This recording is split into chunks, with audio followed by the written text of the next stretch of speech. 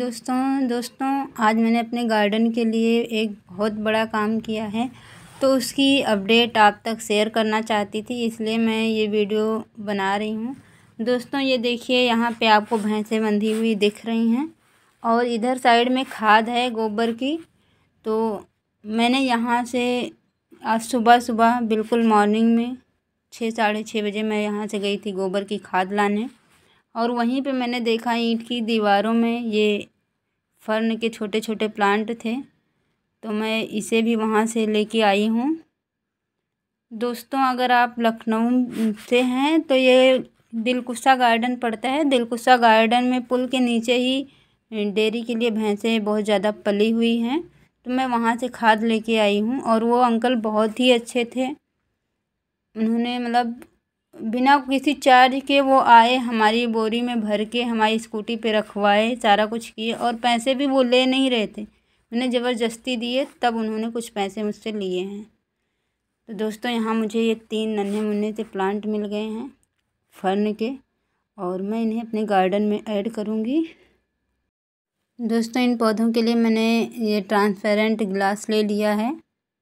छोटे छोटे वाले जो होते हैं डिस्पोजल और इसी में मैं अभी इसे लगा दे रही हूँ, जब थोड़ी ग्रोथ इनकी स्टार्ट हो जाएगी। और तब मैं इन्हें रिपोर्टिंग कर दूँगी, किसी बड़े गमले में ऐड कर दूँगी। अभी तत्काल में मैं इसे ग्लास में ही लगा दे रही हूँ। और दोस्तों, वहाँ पे मतलब ये तो थोड़े से बड़े थे और दीवारों पे जो ईंट लगी थी, उसके बीच में छोटे छोटे छोटे छोटे बहुत सारे मतलब एक एक लीव्स के और बहुत छोटे बिल्कुल, अगर मैं उन्हें उखाड़ती तो वो शायद टूट जाते, मैंने इसलिए छोड़ दिया उन्हें। कई सारे प्लांट थे। और मेरा तो मन कर रहा था मैं यहाँ पे और कुछ सर्च करूँ बट मुझे लेट भी हो रहा था, इसलिए मैंने कुछ ज़्यादा नहीं किया। लेकिन मैं इससे तो मैं बहुत खुश हो गई। मेरे पास तीन नन्हे मुन्ने से प्लांट और आ गए फर्न के। बस ये अच्छी सी ग्रोथ करें। मैं कोशिश तो कर रही हूँ कि इनका पूरा अच्छे से ख्याल रखूँगी।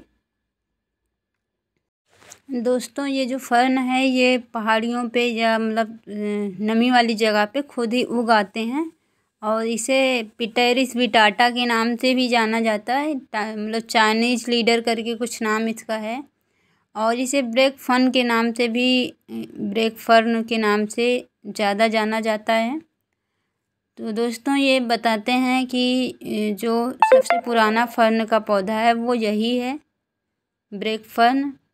और ये लगभग खुद से ही उगाता है, अगर इसे इसके जैसा जैसा इसको चाहिए वैसा एटमॉस्फेयर अगर मिलता है तो ये अच्छे से खुद ही आ जाता है ग्रो हो जाता है। और दोस्तों ये भी, जैसे और सारे फर्न की लीव्स सुंदर होती हैं, वैसे इसकी भी लीव्स जो होती हैं बहुत ही खूबसूरत होती हैं।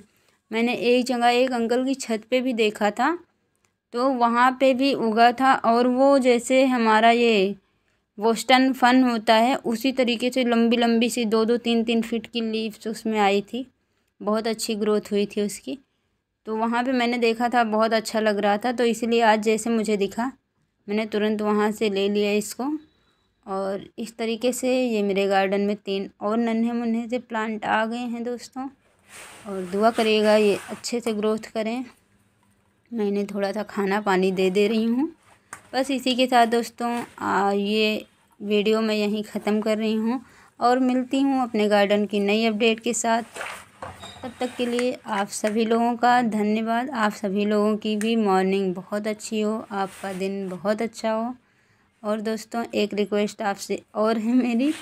कि अगर आप मेरे चैनल पे नए हैं तो चैनल को सब्सक्राइब कर लीजिएगा, बेल आइकन दबाकर आल पर क्लिक कर दीजिएगा, जिससे आपका प्यार, दुलार, सपोर्ट सब मेरे चैनल पर बना रहे। धन्यवाद।